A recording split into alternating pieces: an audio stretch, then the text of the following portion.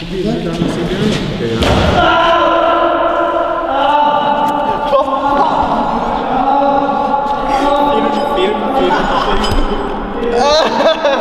var null!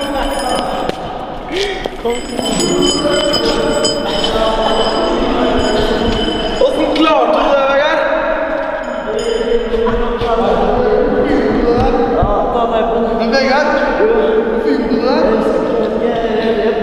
Så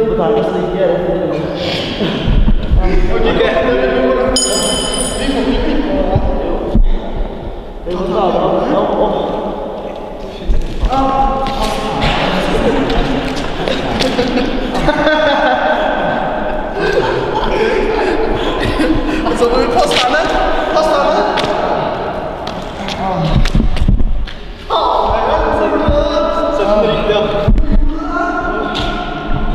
Ah!